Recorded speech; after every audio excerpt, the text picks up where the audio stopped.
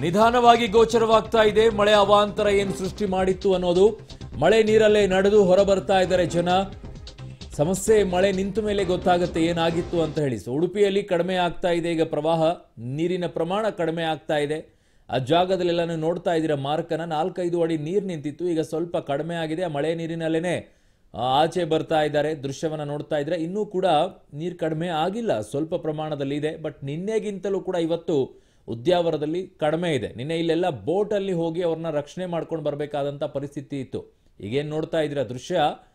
ಈ ದೃಶ್ಯದಲ್ಲಿ ಬೋಟಲ್ಲಿ ಹೋಗಿ ಕರ್ಕೊಂಡು ಬರಬೇಕಾಗಿದ್ದ ಪರಿಸ್ಥಿತಿ ಇತ್ತು.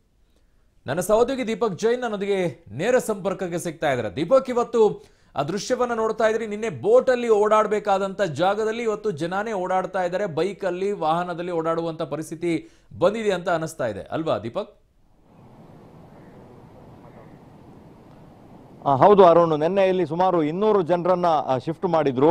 ಇವತ್ತು ಸ್ವಲ್ಪ ಮಟ್ಟಿಗೆ ಒಂದು ಇಪ್ಪತ್ತರಿಂದ ಮೂವತ್ತು ಮನೆಗಳು ಸ್ವಲ್ಪ ಜನಗಳು ಓಡಾಡುವ ಪರಿಸ್ಥಿತಿ ಇದೆ. ಸದ್ಯಕ್ಕೆ ನಾವು ಮಟ್ಟು ಸೇತುವೆ ಹತ್ರ ಇದ್ದೇವೆ.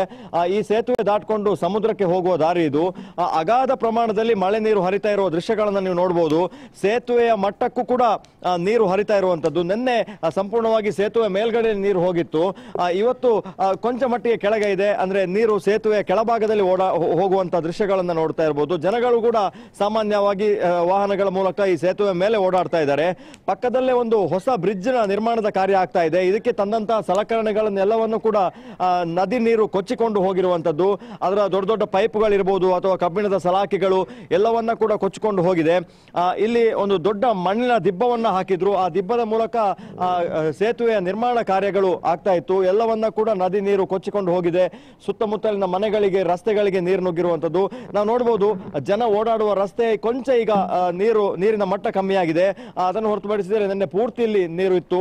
ಸ್ಥಳೀಯರು ನಮ್ಮ ಜೊತೆ ಇದ್ದಾರೆ ಮಾತನಾಡೋದಕ್ಕೆ ಸರ್, ನಿನ್ನೆ ಪರಿಸ್ಥಿತಿಯಲ್ಲಿ ಹೇಗಿತ್ತು? ನಿನ್ನೆ ಇವಾಗ ನಾವು ನಮ್ಮ ಈ ಜನ್ರೇಷನಲ್ಲಿ ಇಂಥ ಒಂದು ನಾವು ನೆರೆ ಕಂಡೇ ಇಲ್ಲ. ಅಷ್ಟೊಂದು ಪ್ರಮಾಣದಲ್ಲಿ ಇಲ್ಲಿ ನೆರೆ ಬಂದಿದೆ. ನಮ್ಮ ಹಿರಿಯರ ಹತ್ರನೂ ಕೇಳಿದ್ರು, ಇಷ್ಟೊಂದು ದೊಡ್ಡ ಪ್ರಮಾಣದಲ್ಲಿ ಈ ನಮ್ಮ ಈ ಮಟ್ಟು ಊರಿಗೆ ಇಷ್ಟು ನೆರೆ ಬರಲಿಲ್ಲ ಅಂತೇಳಿ. ಆದರೆ ನಿನ್ನೆ ಸುಮಾರು ನಮಗೆ ಜನರನ್ನೆಲ್ಲ ಅಂದರೆ ನಮ್ಮ ಗ್ರಾಮದಲ್ಲಿ ಒಂದು ಮೂರು ಕುದುರು ಅಂತ ಇದೆ, ಒಂದು ಐಲ್ಯಾಂಡ್ ಥರ ಅಲ್ಲಿಂದ ಜನ ಎಲ್ಲ ಸಾಗಿಸ್ಲಿಕ್ಕೆ ನಮಗೆ ಬಹಳ ಕಷ್ಟವಾಗಿತ್ತು. ಆದರೂ ನಮ್ಮ ಸಹೋದರ ಸಹೋದರರಾದಂಥ ನಮ್ಮ ಮೀನುಗಾರಿಕೆ ಹೋಗುವ ಎಲ್ಲ ಸಹೋದರರು ನಿನ್ನೆ ಕೈ ಜೋಡಿಸಿ ಅವರದ್ದೇ ಆದ ದೋಣಿಗಳನ್ನು ಕರೆತಂದು ಇಲ್ಲಿ ಎಲ್ಲ ಜನರನ್ನು ಇಲ್ಲಿ ನಾವು ಇಲ್ಲಿಂದ ನಮ್ಮ ಗಂಜಿ ಕೇಂದ್ರಕ್ಕೆ ಶಿಫ್ಟ್ ಮಾಡಲಿಕ್ಕೆ ತುಂಬ ಸಹಕಾರ ಮಾಡಿದ್ದಾರೆ. ನಾನು ಈ ಸಂದರ್ಭದಲ್ಲಿ ನಾನು ಅವರಿಗೆ ಥ್ಯಾಂಕ್ಸ್ ಅಂತ ಹೇಳ್ತೇನೆ. ಯಾಕಂದ್ರೆ ಅವರು ಇಲ್ಲದಿದ್ರೆ ನಮ್ಮ ಹತ್ರ ನಿನ್ನೆ ಸಾಧ್ಯ ಇರಲಿಲ್ಲ. ಅಷ್ಟು ಜನ ಇದ್ರು. ನಿನ್ನೆ ಇಲ್ಲಿ.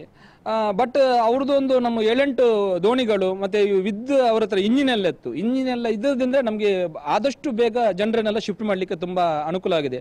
ಮತ್ತೆ ದನ ಕರುಗಳೆಲ್ಲ ಅಲ್ಲಲ್ಲಿ ಹಟ್ಟಿಯಲ್ಲೇ ಎಲ್ಲ ಇದೆ. ಇವಾಗ ಸ್ವಲ್ಪ ಇಳಿದಿದೆ. ಇವಾಗ ಪರವಾಗಿಲ್ಲ. ಈಗ ಎಲ್ಲರೂ ರಿಟರ್ನ್ ಆಗ್ತಾ ಇದ್ದಾರೆ. ಒಬ್ಬೊಬ್ಬರು ಅಂದ್ರೆ ಎಲ್ಲ ಕಡೆ ರಿಟರ್ನ್ ಆಗಲಿಕ್ಕೆ ಸಾಧ್ಯ ಇಲ್ಲ ಸ್ವಲ್ಪ ಮೇಲ್ಭಾಗದಲ್ಲಿ ಇರುವವರೆಲ್ಲ ರಿಟರ್ನ್ ಬರ್ತಾ ಇದ್ದಾರೆ ಈಗ. ಅದರ ಜೊತೆಗೆ ಸುತ್ತಮುತ್ತ ಎಲ್ಲ ಮನೆಯ ದೃಶ್ಯ ಅಂಗಡಿಯ ದೃಶ್ಯ ನೋಡ್ಬೋದು ಅರುಣ್. ಎಲ್ಲವೂ ಕೂಡ ನಿನ್ನೆ ಮುಳುಗಿ ಹೋಗಿತ್ತು. ಎಸ್ ಟಿ ಡಿ ಬೂತ್ ಇದೆ ನೋಡಿ ಆ ಆ, ಏರಿಯಾದವರೆಗೆ ಅಂದ್ರೆ ಮನೆಯ ಆ, ಮೇಲ್ಭಾಗಕ್ಕೂ ಕೂಡ ನೀರು ಬಂದಿದ್ದಂಥದ್ದು. ಇವತ್ತು ಕೊಂಚ ಮಟ್ಟಿಗೆ ಇಳಿಕೆ ಆಗಿದೆ. ಸಂಜೆಯ ಅಷ್ಟೊತ್ತಿಗೆ ಸಂಪೂರ್ಣವಾಗಿ ಆ, ಪರಿಸ್ಥಿತಿ ಹತೋಟಿಗೆ ಬರಬಹುದು ಆ, ಜನ ಆ, ಜನರು ಮಾಮೂಲಿಯಾಗಿ ಓಡಾಟ ಮಾಡುವ ಪರಿಸ್ಥಿತಿ ನಿರ್ಮಾಣ ಆಗುವ ಸಾಧ್ಯತೆ ಇದೆ ಅರುಣ್.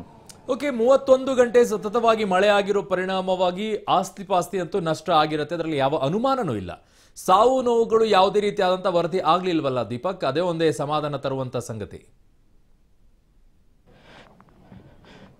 ಖಂಡಿತ ಅರುಣ್ ಸುಮಾರು ಎಪ್ಪತ್ತ ಮೂರು ಗ್ರಾಮಗಳು ಉಡುಪಿ ಜಿಲ್ಲೆಯಲ್ಲಿ ಮುಳುಗಡೆ ಆಗಿರುವಂಥದ್ದು ಆದರೆ ಒಂದೇ ಒಂದು ಸಾವು ನೋವುಗಳು ಕೂಡ ನಡೆದಿಲ್ಲ.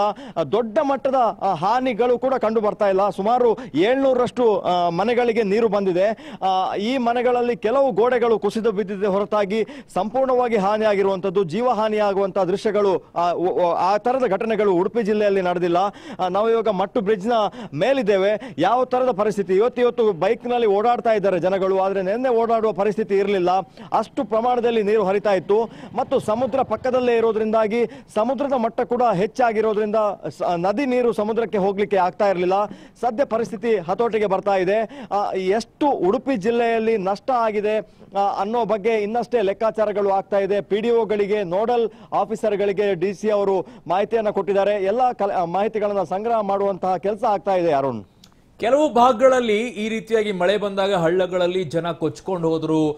ಅಲ್ಲಿ ಅವರ ರಕ್ಷಣೆ ಕಾರ್ಯಾಚರಣೆ ನಡೀತಾ ಇದೆ ಅಂತೇಳಿ. ಬಟ್ ಉಡುಪಿಯಲ್ಲಿ ಅಂಥದ್ದು ಯಾವುದು ಕೂಡ ಕೇಳಿ ಬರಲಿಲ್ಲ. ಅಷ್ಟೊಂದು ಜಾಗೃತರಾಗಿದ್ದಾರೆ.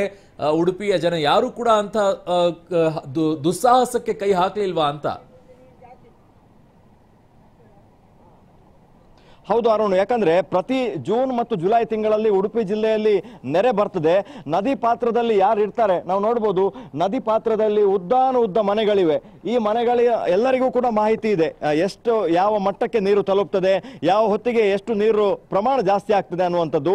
ಹಾಗಾಗಿ ಆ ಸಂದರ್ಭದಲ್ಲಿ ಅವರು ಅಲ್ಲಿಂದ ಶಿಫ್ಟ್ ಆಗಿದ್ದಾರೆ. ಮತ್ತು ಎತ್ತರ ಪ್ರದೇಶಕ್ಕೆ ತಮ್ಮ ಸಂಬಂಧಿಕರ ಮನೆಗಾಗಿರ್ಬೋದು ಅಥವಾ ಊರಿನ ದೇವಸ್ಥಾನ, ದೈವಸ್ಥಾನ, ಇಲ್ಲೆಲ್ಲ ಶಿಫ್ಟ್ ಆಗಿದ್ದಾರೆ. ಹಾಗಾಗಿ ಈ ಭಾಗ ನೋಡಿ, ಕುದ್ರು ಭಾಗ ಇದೆ.